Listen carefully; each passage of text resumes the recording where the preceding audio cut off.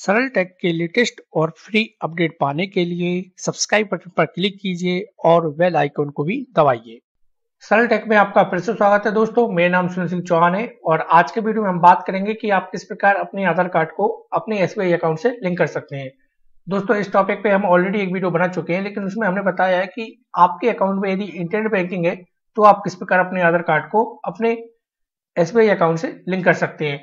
और आज के वीडियो में हम बात करेंगे, यदि आपके अकाउंट में इंटरनेट बैंकिंग नहीं है तो केवल आप इंटरनेट का यूज़ करके अपने आधार कार्ड को अपने एसबीआई अकाउंट से किस प्रकार लिंक कर सकते हैं। इसमें हमें किसी प्रकार की यूज़र आईडी और लॉगिन पासवर्ड की ज़रूरत नहीं पड़ती है।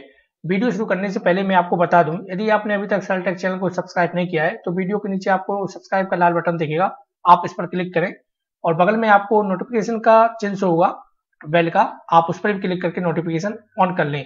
इससे क्या होगा? सरटेक पे आने वाले सभी वीडियो की नोटिफिकेशन आपको मिलती रहेगी और आप उनके वीडियो का लाभ ले पाएँगे। यदि आपने हमारे चैनल को सब्सक्राइब कर लिया है तो इसके लिए आपका बहुत बहुत धन्यवाद। अब हम वीडियो शुरू करते हैं।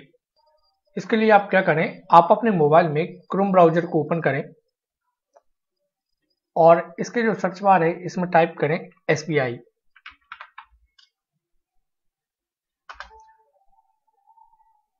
और इसके बाद आपको दूसरे नंबर पर एक लिंक मिलेगी स्टेट बैंक ऑफ़ इंडिया आप इसको पूरा एड्रेस देख लें W W dot online S B I dot com है। आप इस पर क्लिक करें।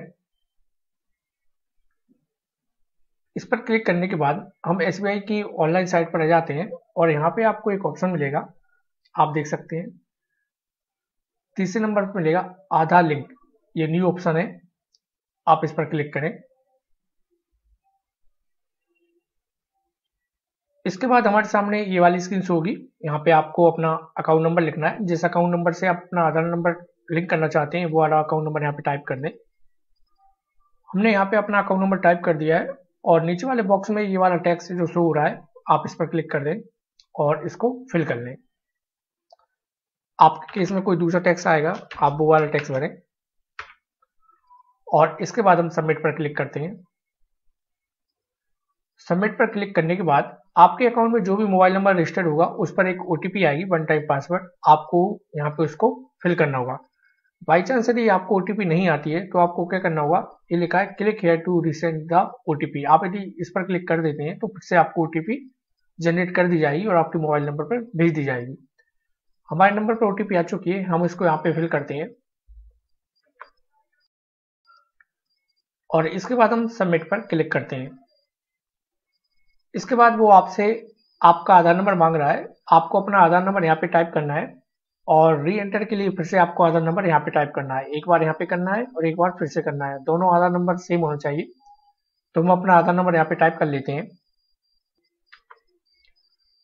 हमने अपना आधार नंबर यहाँ पे टाइप कर लिया है और इसके बाद आप एक बॉक्स देखेंगे तो आपको टर्म एंड कंडीशन एग्री करनी होगी। तो आप इसको क्लिक कर दें।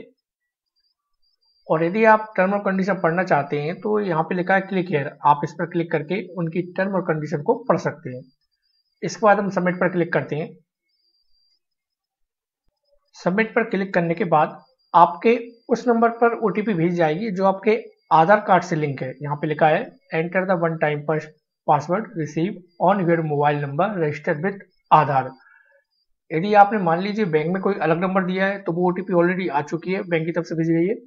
और यदि मान लीजिए आपने जब आधार कार्ड बनवाया है और आपने कोई अदर नंबर दे रखा है तो उस अदर नंबर पर ओटीपी भेजी जाएगी इस बार। इस बार आपके उस नंबर पर भेजी जाएगी जो आपके आधार कार्ड से लिंक है। तो आपको वो वो वन टाइम पासवर्ड यहाँ पे फिल करना है। हम अपना वन टाइम पासवर्ड यहाँ पे फिल करते हैं। हमने यहाँ पे अपना वन टाइम पासवर्ड फिल कर लिया है और इसके बाद हम सबमिट पर क्लिक करेंगे। तो आप देख सकते हैं हमारा जो आधार कार्ड था वो लिंक हो गया है हमारे सीआईएफ नंबर से। और जो भी आपके अकाउंट का जो सीआईएफ नंबर होगा, जिसे हम कस्टमर आईडी बोलते हैं उसके चार अंक यहाँ पे शो हो रहे हैं। क्योंकि इस प्रक्रिया में आपका जो आधार नंबर है, वो सीआईएफ नंबर के थ्रू लिंक किया जाता है। तो हमने बड़ी आसानी से ना कोई इंटरनेट बैंकिंग का यूज़ करते हुए, ना किसी प्रकार की यूज़र आईडी और पासवर्ड डालते हुए अपने आधार कार्ड को अपने अकाउंट से लिंक कर लिया है। वो भी ऑनलाइन तो दोस्तों, आशा करता हूँ आज का वीडियो आपको पसंद आया होगा। यदि वीडियो पसंद आया हो तो वीडियो को लाइक करना बिल्कुल ना भूलें। सरल टेक चैनल को ज़रूर सब्सक्राइब करें और इस वीडियो के संबंधित कोई भी कमेंट हो तो मुझे कमेंट बॉक्स में ज़रूर लिखें। मैं उसका रिप्लाई ज़रूर करूँगा। आने वाले वीडियो के साथ मैं जल्दी हाजिर हूँ जब तक लिए धन्यवाद। आपका दिन शुभ रहे।